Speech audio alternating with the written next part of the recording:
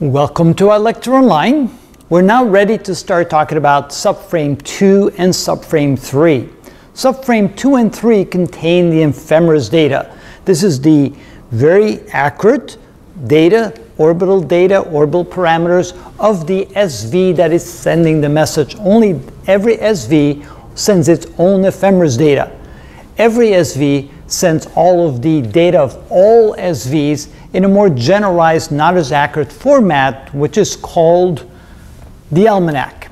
So if you look at the five subframes, subframe one, which we've now covered in great detail, has all kinds of various parameters. Subframe 2 and 3 have the ephemeris parameters. Subframe 4 and 5 have the almanac parameters. But there's so much data there because it, it is for the entire constellation that we have to send 25 frames containing the five subframe, subframes before we have all of the almanac data for the entire constellation sent to us. Now it takes six seconds for each subframe to be sent, so therefore it takes 30 seconds for all five subframes. And of course, since we need 25 for all the almanac data, it takes 12 and a half minutes to get all of the almanac data of the entire constellation of all the satellites, GPS satellites in the sky.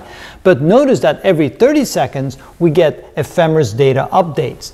Now, notice that those are usually placed in blocks roughly four hours long. In other words, the ephemeris data, even though it's sent to us every 30 seconds, and that's of course when a receiver tries to acquire a satellite, we want to get the information about that satellite as quickly as possible. So within 30 seconds of receiving information from a satellite, we have all the orbital parameters of that satellite, and therefore we can lock into the satellite readily in a relatively small amount of time. And so that is being sent every, every 30 seconds. We do, the satellites do that for about a period of four hours and then it changes to a new data set, which is then the most accurate for the next four hours and so forth. And in the previous video, we saw how we have to continuously uh, account for the time difference between the GPS time on the Earth and the GPS time on the satellite in order to account for the ephemeris data as accurately as possible. So we're now going to look at the contents of subframe 2, which is the first half of this subframe right here, words 1 through 5. And you can see that the first two words of every subframe always contain the TLM and the HOW, the handover word. So that's always going to be the same for every subframe so that we can lock in to that particular set of data. In the third word, we have the IODE and the C sub RS. Now, what is the IODE? That is the issue of data ephemeris.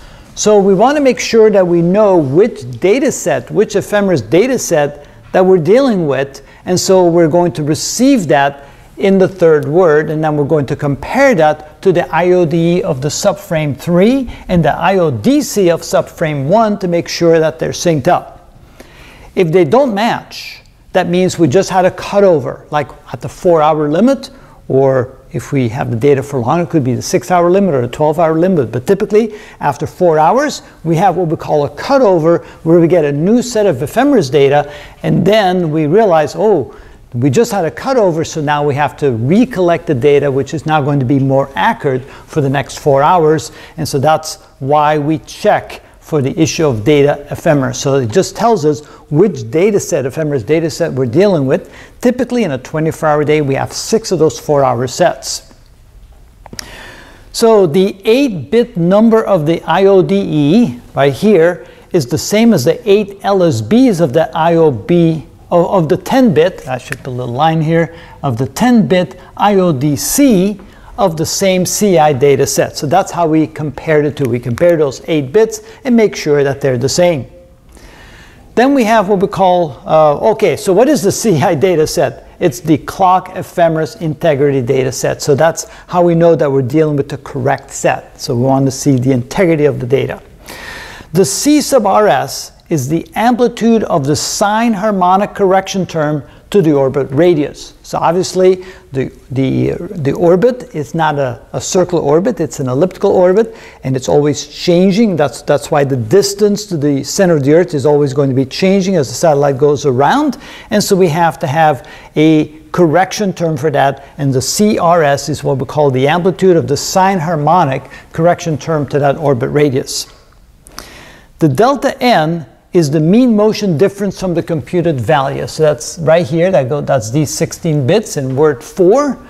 And the motion difference from the computed value, so we'll have a predicted computed value and then we'll have a measured value based on the data that we get from the satellite, and so we can compare the two and adjust for that. And then finally we have the mean anomaly at reference time. Notice 8 bits are in word 4 and 24 bits are in word 5 for a total of 32 bits of that. So that's a lot of bits.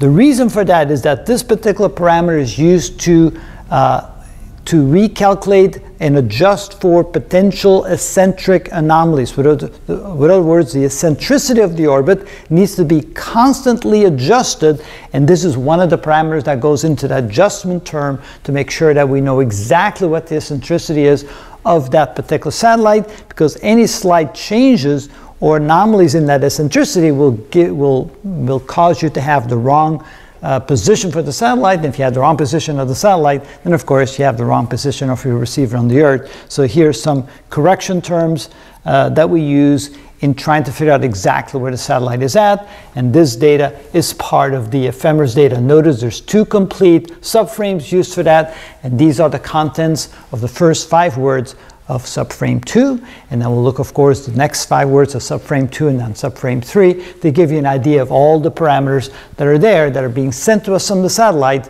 to tell us where exactly that satellite is. And that's considered the ephemeris data of the satellite.